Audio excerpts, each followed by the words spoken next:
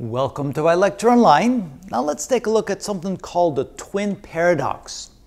What they began to realize was that if, an, if a, a person gets into a spaceship and begins to travel through space at a very high velocity, they will experience time in a different way than the person left behind on the Earth. For example, let's say we have two twins of the same age. Let's call them twin A and twin B. Twin A stays on the Earth and twin B gets onto a spaceship a very special spaceship that takes off and flies off at 0.99 c, 99% of the speed of light. We then realize that the time experienced by observer B on the spaceship is going to be very different from the time experienced by observer A. It turns out time for observer B will be much slower than time observed by observer A left on the Earth. If we then calculate what the time difference would be, we look at the uh, Lorentz factor here, gamma, and we find that at 0.99c that is equal to 7, which means that the time experienced by observer A is 7 times the time experienced by observer B. In other words, if one year goes by for observer B, seven years will go by for observer A. And if the voyage lasts for 70 years Earth time, it will only take 10 years for observer B, and when observer B returns after being gone for 70 years, observer B will only have aged 10 years, while observer A will have aged 70 years. So that's pretty well established, and we've done all kinds of experiments. We know that has to be true.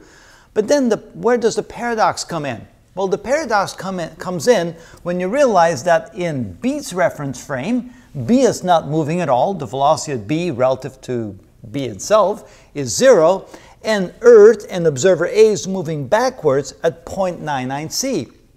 So observer B can argue, well, I was stationary, I saw the Earth and observer A moving backwards at 0.99 c, therefore time is very different for A than it is for B, and since A is moving so fast, therefore when we calculate the Lorentz factor for A, it'd be 7 relative to B, and therefore B would say, well, the time is much slower for A than, than here. My time will, I will age 70 years when I'm gone for 70 years, and everybody on earth will have only aged 10 years.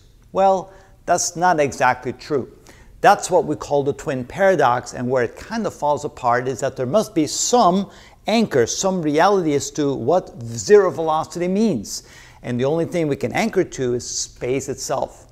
For example, if you're not moving relative to space, then you're at zero velocity. Once you get into a spaceship and begin to accelerate and accelerate and gain kinetic energy, gain momentum, and finally reach a speed of 0.99 c relative to space, now what's happening to you is different than what's happening to someone who's left behind on the Earth and is fairly stationary relative to space.